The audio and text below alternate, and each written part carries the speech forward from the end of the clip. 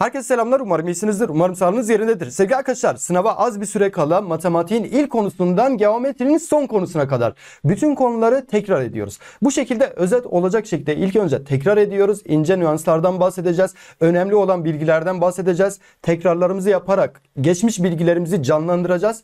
Ve her konuyla ilgili 5 tane nokta atışı soru çözüyoruz arkadaşlar. Çözeceğim sorular da çok önemlidir. Sınavda gelme ihtimali yüksektir. Hangi sınava çalışıyorsanız çalışın arkadaşlar o sorularla ilgili soru gelebilir. Haberiniz olsun.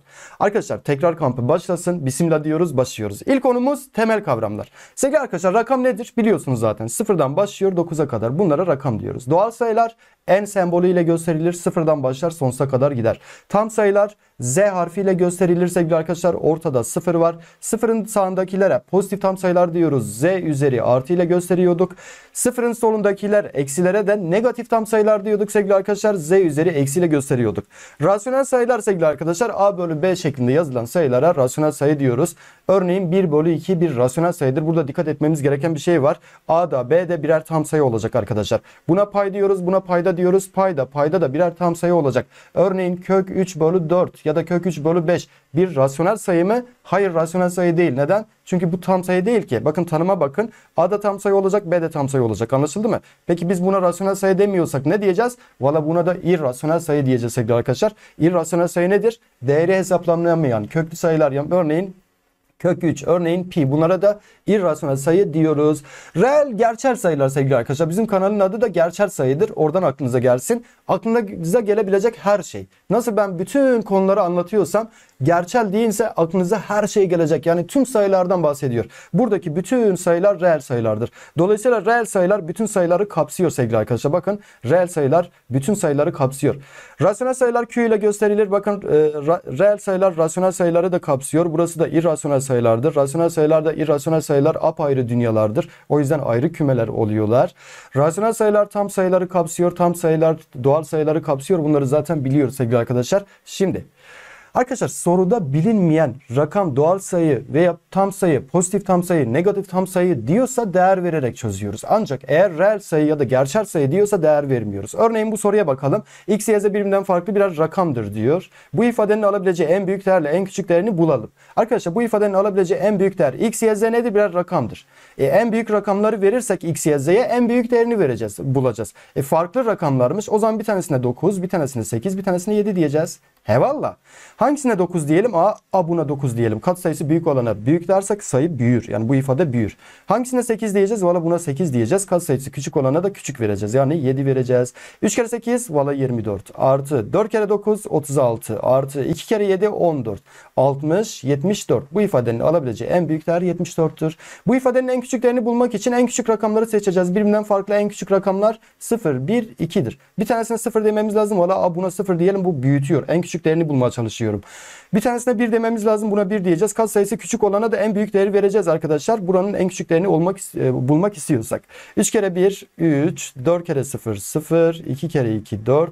Sonucumuz 7 çıktı. Yani bu ifadenin alabileceği en küçük değer 7'dir sevgili arkadaşlar. Şimdi arkadaşlar Toplamları verilen iki sayının çarpımlarının büyük olması için birbirine yakın değerler veriyoruz. Çarpımlarının küçük olması için birbirine uzak değerler veriyoruz. Örneğin bakın A artı B, A ve B ne? Pozitif tam sayı. Sorunun başına dikkat ediyoruz. A ile B pozitif tam sayı. A ile B'nin toplamı 42 ise A çarpı B'nin en büyük ve en küçük değerlerini bulalım. Birbirine en uzak değerler verirsek pozitif tam sayı olarak örneğin 1 ile 41'in toplamı 42'dir. Sıfır veremiyoruz çünkü pozitif tam sayı diyor. Pozitif tam sayılarda sıfır yok. Arkadaşlar birbirine en uzak değerler verirsek yani 1 ile 41 arkadaşlar. 1 kere 41 41. Bu ifadenin en küçük e, en büyük en küçük değerini bulduk. En büyük değerini bulmak için birbirine en yakın değerler vermemiz lazım sevgili arkadaşlar. Burada 21 ile ya da 20 ile 22'nin toplamı değil mi arkadaşlar? 20 ile 22'nin toplamı 42'dir. 20 ile 22 birbirine en yakın değerlerdir. 20 çarpı 22 sonucumuz ne oluyor? 440 bu ifadenin en büyük değeridir. Bunları biliyoruz. Arkadaşlar çarpımları verilen bir sayının, bir ifadenin toplamlarının en büyük olması için bu sefer tam tersi. Yani birbirine en uzak değerleri verirsek toplama en büyük oluyor. Birbirine en yakın değerleri verdiğimizde toplama en küçük oluyor. Ne demek istiyorum izleyin. Şimdi a artı b'ye bakıyorum sevgili arkadaşlar. Burada bunlar birer doğal sayıdır. Birbirine en uzak değerler verirsem örneğin 1 ile 100'ün çarpımı 100'dür. a'ya 1, b'ye 100 dersem sonucumuz 101. Yani bu ifadenin en büyük değerini bulduk. En büyük değerini bulduk. En küçük değerini bulmak için birbirine en yakın değerler vermem gerekiyor. Birbirinden farklı diyor mu? Hayır. O zaman 10'a 10 diyebilirim. 10 kere 10 100. A'ya 10, B'ye 10 dersem 10 ile 10'un toplamı 20 bu ifadenin en küçük değeridir. Bu kadar. Arkadaşlar şimdi sorulara geçiyoruz. İlk sorudan başlıyoruz. Bakın temel kavramlarla ilgili bu tarz bir soru gelebilir. A, B kare A kare bunlar sevgilidir. Sevgilileri kavuşturmak bizim görevimiz. Hemen bunu sevgilisinin yanına gönderiyorsunuz. Ne oldu orası? B kare eksi A kare eşittir 53 oldu. 53 bir asal sayıdır. Burada iki kare farkı var. B eksi A çarpı B artı A eşittir 53 mü? Evet o zaman burada değer vereceğiz sevgili arkadaşlar. Şimdi ne yapabiliriz? Kesinlikle burası 1'dir. Burası da 53'tür. Hevallah çünkü bir kere 53 53 eder.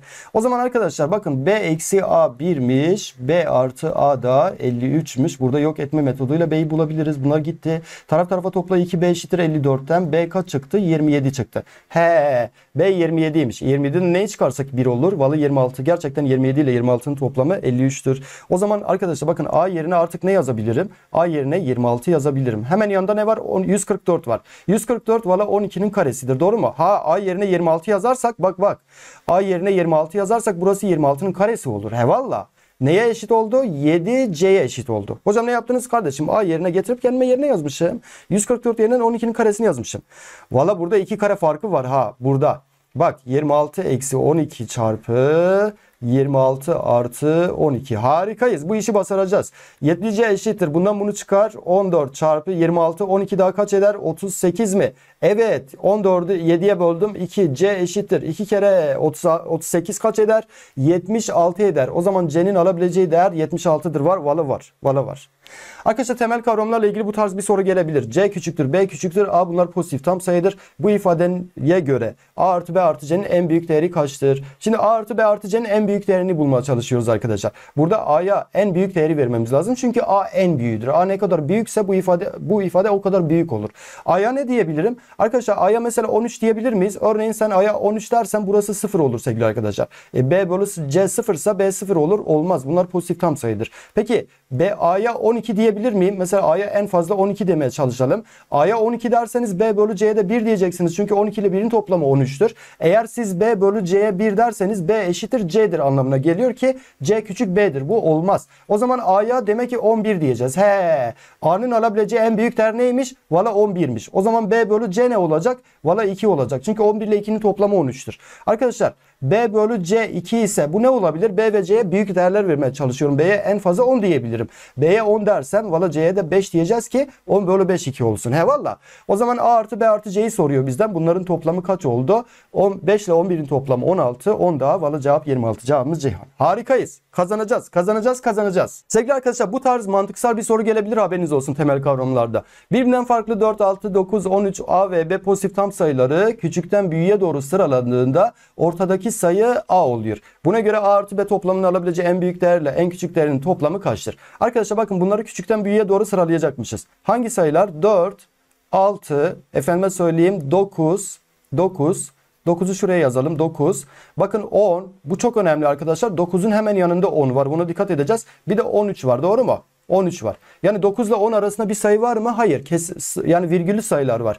Halbuki A ve B birer pozitif tam sayıdır. O zaman A ve B'ye baktığımız zaman ortadaki sayı A oluyor. A nereye gelebilir? Arkadaşlar A buraya gelemez. Çünkü bunların ortasına yani bu yazacağım tüm sayıların ortasındaki sayı A olacakmış. E A bu 9 ile 10 arasına da gelemez. Çünkü 9 ile 10 arasında virgüllü sayılar var. Yani tam sayılar yok. O zaman A'nın gel, A, e, gelebileceği tek bir yer var. Neresi sizce? Söyleyin bana bakalım. Valla burası. Yani kesinlikle A buraya gelecek arkadaşlar. 9'un sonunda olacak. O zaman B de bur ya buraya ya buraya ya da buraya gelecek. Şimdi A artı B'nin en büyük değerini bulmaya çalışacağız sevgili arkadaşlar. A artı B'nin en büyük değerini bulmak için A'ya 8 dememiz lazım. Doğru mu arkadaşlar? A'ya en fazla 8 diyebiliyorum. B'ye de en fazla 7 diyebiliyorum. Gerçekten bakın bu da B olursa Burada 3 sayı var. Şurada 3 sayı var. Ortadaki sayı A oluyor. Böylelikle e, yani burada verilen şartı sağlıyor. A'nın alabileceği en büyük değer 8'dir. B'nin alabileceği en büyük değer de 7'ymiş sevgili arkadaşlar. 8 ile 7'nin toplamı 15. A artı B'nin alabileceği en büyük değer 15'tir. A artı B'nin en küçük değerini bulalım sevgili arkadaşlar.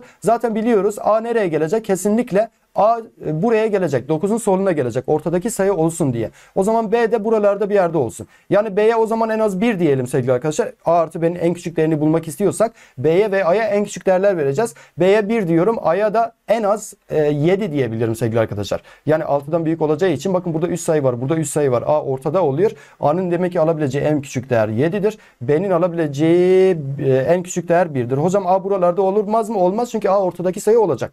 Arkadaşlar A artı B'nin alabileceği en küçük değer de 7 bir daha 8'dir. Diyor ki A artı B'nin alabileceği en büyük değerle en küçük değerin toplamı kaçtır? Bu ikisinin toplamını sormuş. 15 ile 8'in toplamı 23. Cevabımız Denizli. Harikayız. Bu sınavı kazanacağız.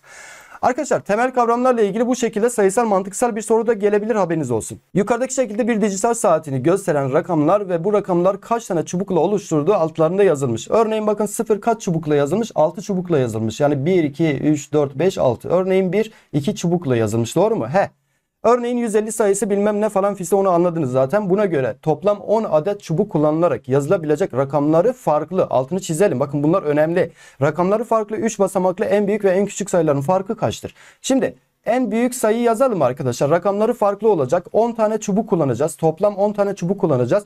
Rakamları farklı 3 basamaklı en büyük sayı yazmaya çalışacağım. O zaman 9'u buraya getirelim. En büyük sayı yazıyoruz ya arkadaşlar. 9'u kullanırsak 6 tane çubuk kullanmış oluyoruz. Toplam 10 tane çubuk kullanma hakkım var. Geriye 4 tane çubuk kullanma hakkım kaldı. 6 4 daha 10 olsun. 2 tane sayı olacak arkadaşlar. Toplamları 4, 4 tane çubuk olan var mı? Bakıyorum yok. Olmuyor sevgili arkadaşlar. Burada 2 var. 2 getirirsem buraya 2 başka yok. Rakamlar farklı olacak. O zaman 9'u getiremem. Yani buraya 6 çubuklu bir şey kullanamam. Yani şunu kullanamıyorum sevgili arkadaşlar. E, 8'i hiç kullanamam. Ya da kullanın. Diyelim ki en büyük sayı yazma çalışıyorsunuz. Buraya 8 yazdınız. O zaman 7 tane çubuk kullandınız. Geriye 3 tane çubuk kullanma hakkınız kaldı. 2 tane sayı toplam 3 tane çubuk yok. Böyle bir şey yok arkadaşlar. O zaman 7 kaldı. Geriye 7'den şansı arıyoruz. 7 sen gel buraya kaç tane çubuk kullandırttın bana? 3 tane. Geriye 7 tane çubuk kullanma hakkım kaldı. 3 daha 7 daha 10 tane çubuk kullanma hakkım var.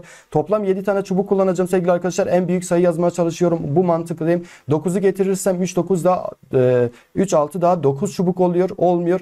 3 7 daha 8'i getirirsem 10 çubuk oluyor. Geriye bir çubuklu bir şey kalmıyor. E, 6'ya getirirsem yine bunun gibi olmuyor. 5'i getirmem lazım sanırım. 5'i getirirsem sevgili arkadaşlar toplam 5 tane çubuk daha kullanmış oluyorum. 3 5 daha 8 tane çubuk kullandım. Buraya da 2 çubuk kullanma hakkım kaldı. Toplam 10 tane çubuk kullanacaktım. 2 tane çubuk olan da 1'dir. O zaman en büyük sayı 751'dir. Bunu bir köşeye yazdım. Bizi mahvettin eyvallah. Arkadaşlar şimdi en küçük sayı yazalım. Tamam şimdi en küçük sayı yazalım. Yine 10 tane çubuk kullanma hakkım var. 3 basamaklı rakamları farklı en küçük sayı yazacağım. O zaman kesinlikle buraya 1 getireceğim. Bakın 2 tane çubuk kullanmış oldum. Buraya 0 getirmek istiyorum. En küçük 3 basamaklı sayı yazmak istiyorsam buraya 6 tane çubuk daha kullanırsam 2 6 daha 8 tane çubuk kullanmış oldum. Geriye 2 tane çubuk kullanma hakkım kaldı sevgili arkadaşlar. Toplam 10 tane çubuk olacak ya. E 2 tane çubuk sadece 1 var. Rakamları farklı olmuyor. Dolayısıyla buraya 0'ı demek ki kullanmayacağız. O zaman buraya 1'i de kullanmayacağız. Rakamları farklı olsun diye. Rakamları farklı demiş. Buraya demek ki 2 kullanacağız arkadaşlar. 2'yi kullanırsam 5 tane çubuk daha kullandım. 2 5 daha 7 tane çubuk kullanmış oldum. Geriye 3 tane çubuk kullanma hakkım var. 3 tane çubuk hangisidir? 7. En küçük sayı da 127'ymiş. Yazabileceğim 3 basamaklı en küçük sayı da 120'dir. Bunların farkı kaçtır diye sormuş. 11'den 7 çıkar 4. Sonu 4 olan bir şey var mı? Valla var. Valla var. 11'den 7 çıkar 4. 4'ten 2 624 gibi bir şey çıktı. Arkadaşlar şimdi temel kavramlarla ilgili zor bir soru çözeceğim. Hazırlıklı olun. Hazır mısınız? Bakın zor bir soru çözüyorum haberiniz olsun. Şimdi n sayısı şöyle bir şey vermiş. Bakın şimdi burayı çok iyi dinleyin. Bu önemli bir soru arkadaşlar. n sayısı 1, 2, 3, 4 diye gidiyor. Bakın 1, 2, 3, 4, 5 diye gidiyor. Nerede bitiyor? Yani n sayısı ne olabilir? 1 olabilir, 2 olabilir, 3 olabilir, 4 olabilir, 5 olabilir, 6 olabilir, 7 olabilir. Dikkat ederseniz arkadaşlar Tek olabilir, çift olabilir. Tek, çift, tek, çift diye gidiyor.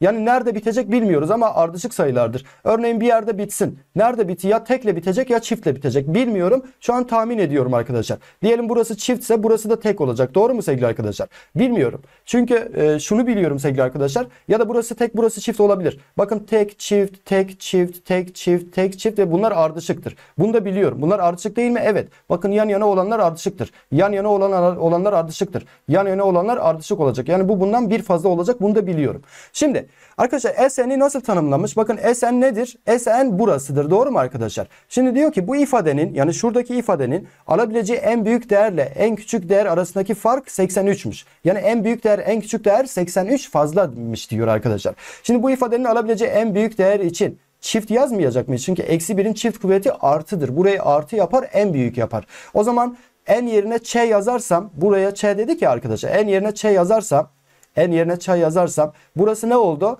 ç artı 3 oldu çarpı eksi 1 üzeri ç oldu. ç ne? Çift bir sayıdır.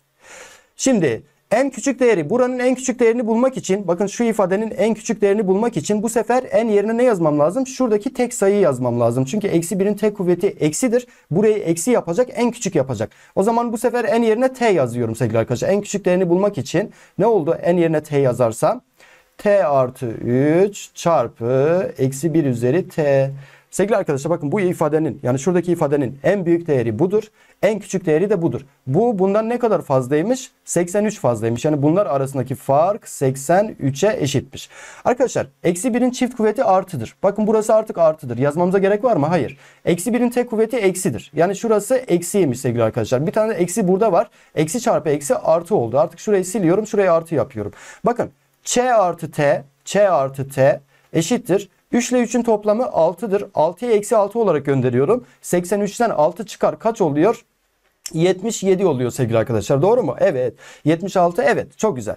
O zaman bunlar ardışık değil miydi? Evet. Hangi çift ve tek sayıların toplamı 77 olur? Onu düşünüyorum. 76 olsaydı 76'yı 2'ye böl 38. Sanki 38 ile 39'un toplamı olacak gibi. He demek ki burası 38'dir. Artık ben şunu biliyorum sevgili arkadaşlar. Burası 38'dir. Burası da 39'dur. Yani enin alabileceği en büyük değerler bunlarmış demek ki sevgili arkadaşlar. Anlaşıldı mı? Çok güzel. Gerçekten 38 ile 39'un toplamı 77. Zor bir soru moralinizi bozmayın. Zor bir soru. Ama zor soruları da çözmek zorundayız. Bana diyor ki S'nin alabileceği en büyük değer kaçtır? En büyük değer yeri için bunu yazacağız. Doğru mu? Bunu yazarsak eksi 1 oluyor. Bakın burada en yerine ne yazıyoruz bu sefer? 38 yazıyoruz en büyük değere ulaşmak için. En yerine 38 yazarsanız o zaman S'n ne oldu? 38 3 daha 41 zaten eksi 1'in çift kuvveti artıdır. En büyük değer 41 olacak. Böylelikle sevgili arkadaşlar temel kavramları güzel bir şekilde tekrar ettim ve 5 tane nokta atışı soruyla sınavda çıkabilecek zor sorularla sizlerle paylaştım. Videoyu beğenmeyi, kanala abone olmayı, bildirimlerinizi açmayı unutmayın. Bütün matematik ve geometri konularını sizlerle beraber bütün baştan sona kadar bu şekilde tekrar edeceğim. Bu sorular önemlidir sevgili arkadaşlar. Bu soruları ince ayrıntılı bir şekilde çalışın. Çok güzel. Harikasınız. Bu sınavı birlikte kazanacağız. Kendinize iyi bakın. Tek çift sayılar videosunda görüşmek üzere. Hoşçakalın.